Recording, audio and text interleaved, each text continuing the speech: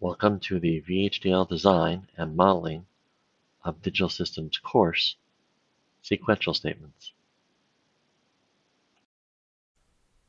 Sequential statements will include wait statements, conditional statements, which includes if then else and case statements, uh, conditional variable assignment statements, loop statements, and also assert and report statements.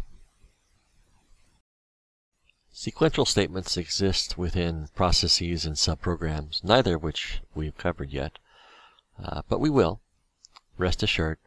The order in which the sequential statements are placed is important because each sequential statement happens, well, you know, is executed in sequence. And this is different than, uh, than concurrent statements.